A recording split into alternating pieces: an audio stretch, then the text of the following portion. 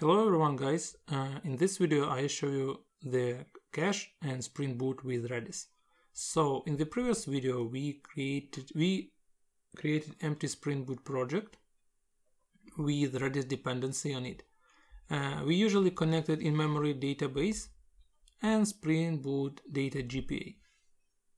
Uh, so in this video we implement a cache. Let's create firstly a model which we're gonna uh, store in the cache let's say we have some product model and we want to store uh, this object in the cache. So firstly, we create a product. We need to add data from Lombok and also we need to add entity to store our product in the database. Let's add ID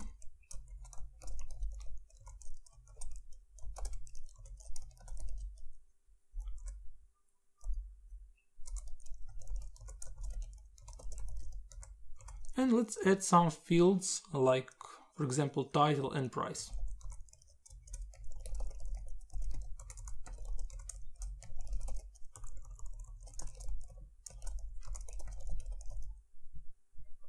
And that's it. Let's create a repository. Just simple JPA repository to be able to store our product in the database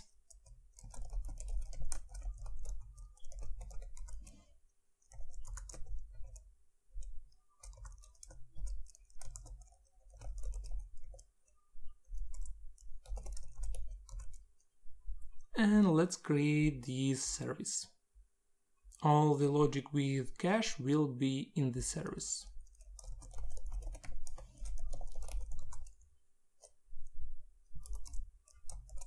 Let's add service annotation, AllArgs constructor, and let's add logs to be able to log our uh, incoming requests in the product service. So let's auto-wire our product repository.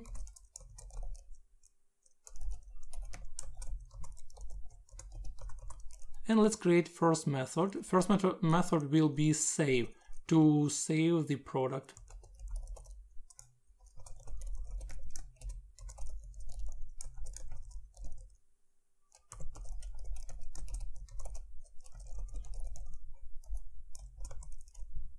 As usual, I'm not gonna validate this product in this tutorial, but yeah, it's better to validate it in the real project.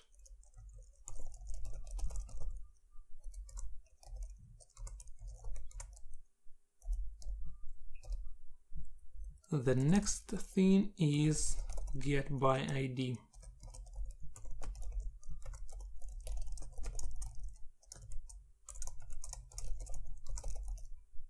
This method we gonna cache and uh, this method uh, we test with our Redis cache.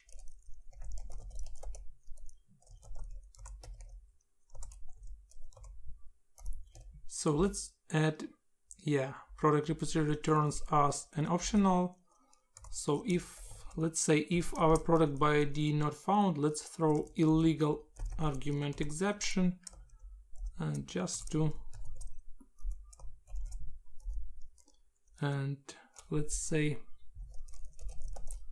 we wanna say that uh, product ID is incorrect. Something like that. And let's lock mm, the triggering of the method.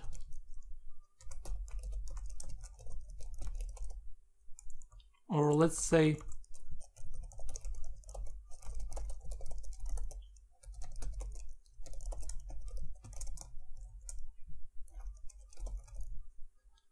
and let's log also this method.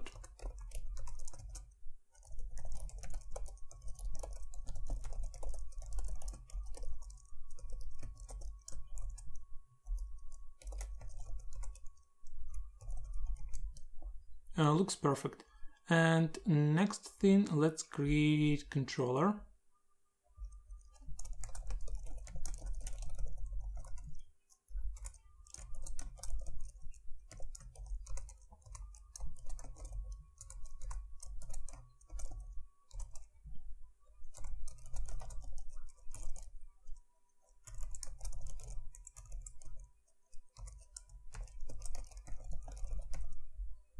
and first method is save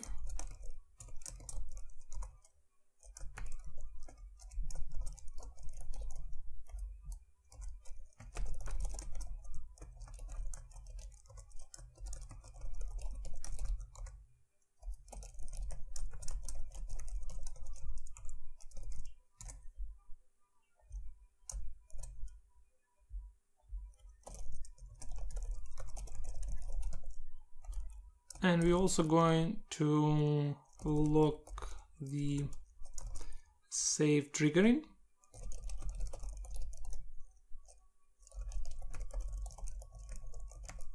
Something like that. So we'll be able to, to check if the cache work or not using our logs so let's auto wire our service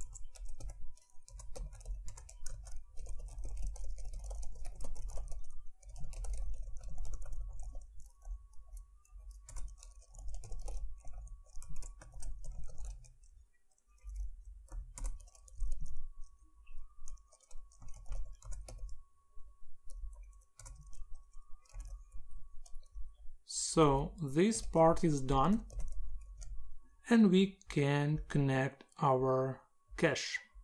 Firstly, we need to navigate to the or we need to create some uh, config file or we can add annotation enable caching in the main Spring Boot application class.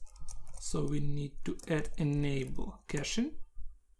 Uh, this annotation tells Spring that we'd like to enable caching and we need to specify, specify cache type for this Spring. So we navigate to application properties and tell the Spring cache type equals Redis. As you can see, you have multiple solutions. Uh, you can multiple choices uh, here and it depends uh, which ready uh, which cache type you have you need to select uh, one. So we have redis and we select redis cache type. Um, if you run your led, your redis on the local host you don't need to specify the host the username password or something like that. Um, but yeah if you run redis for example on another uh, port you need uh, to specify. Spring Redis host, for example, Spring Redis port, and etc. So that's it. And now navigate to our product service and let's cache annotation when we save. So when we save our entity we want to put it to the cache so we need to use annotation cache put. Cache put tells the um, the Spring that you wanna put this product to the cache. So you need to specify the collection for your cache. Uh, if you place value like product, uh, that means that you will store your product model in the product collection you can specify even a key for your product collection. Like uh, if we wanna uh, cache our find by ID, we can specify the key like product ID. And we will be able to store our product by uh, in cache by ID. So if we wanna make some method cacheable, we need to specify a specific annotation, cacheable. And you need to specify value, the object where you want to find this uh, this entity. Yes, this model, it's gonna be product because previously we put our object to the product. Yeah, you can even specify the key, something like that, but it's not um, mandatory. And you also can specify, for example, other um, other params like condition unless and if you have some condition where you want when you want to skip mm, to put your object to the to the cache you can uh, specify a condition but for now let's just stop on uh, the, the, simple cache just to get the mm, basic understanding how does this uh, work and how to mm, create a simple cache with Redis. So, and yeah, if you wanna uh, delete the cache, you can use annotation cache evict. So let's add another method to the product to clear all the cache. Let's create get mapping clear cache.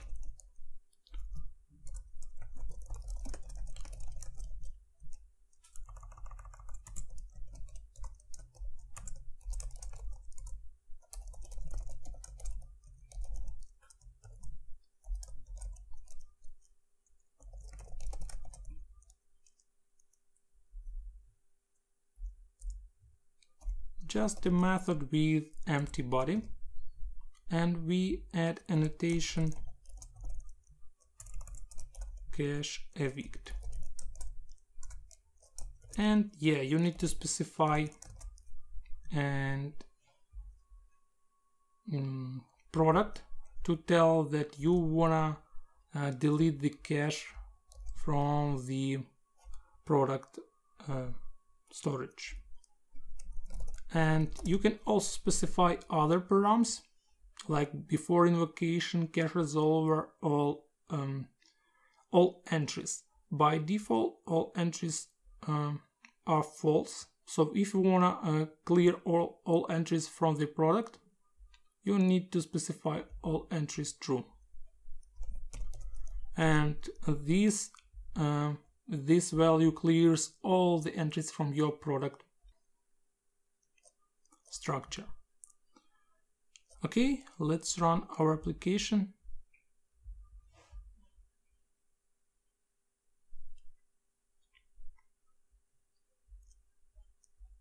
So we need to use Postman to check out, uh, to just to trigger our uh, controller and we will check the logs to be able to see if the cache works as we expect. So first is save, but this time in the previous video we saved users. This time we will save product. And in the body we're gonna specify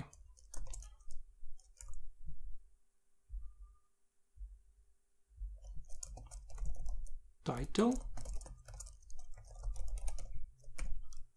and price.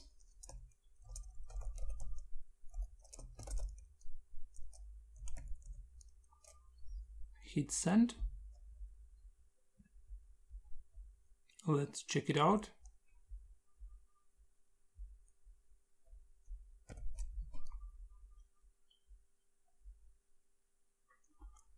Yeah, we need to add also serializable. I forgot about it.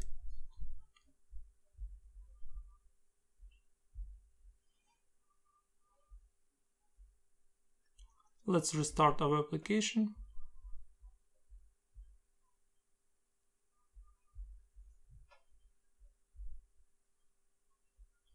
And yeah, we can see we stored our product successfully. Let's create a couple of other products. And we have product 2 so now we need to get product by ID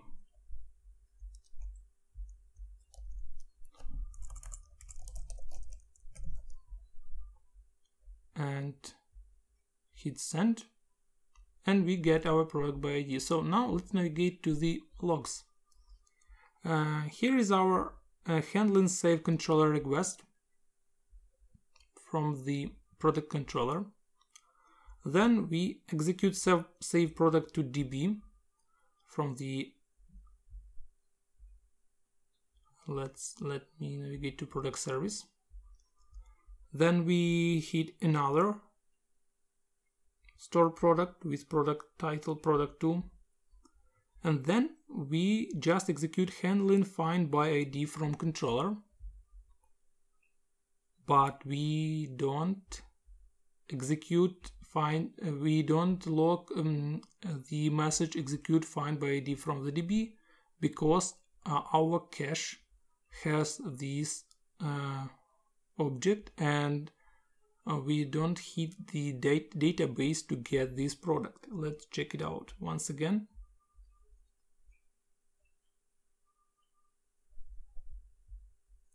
Sorry.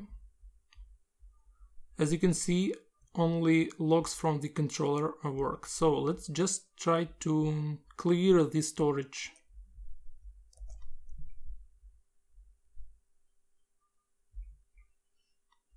Let's duplicate this. Let's try to clear our storage of of our product so we hit ok and we cleared our storage. Now let's let's try to get the product by id once again as you can see we get this and now you can see that we execute find by ID from the DB because we cleared our cache. So guys, that's it for today. Uh, just use this cache approach to cache your requests uh, which uh, which are able to be cached, you know. Uh, don't forget to subscribe to the channel. Stay tuned. Goodbye.